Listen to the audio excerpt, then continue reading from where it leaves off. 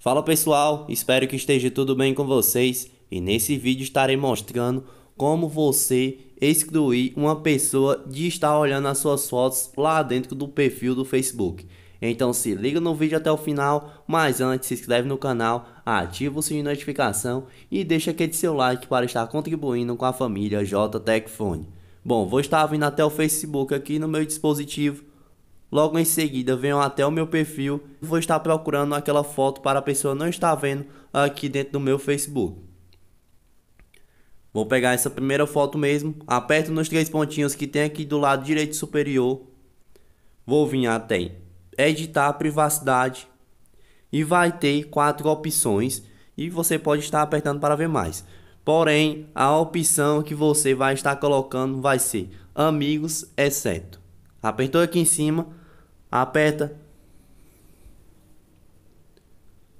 Após isso, é só vir procure um amigo ou lista.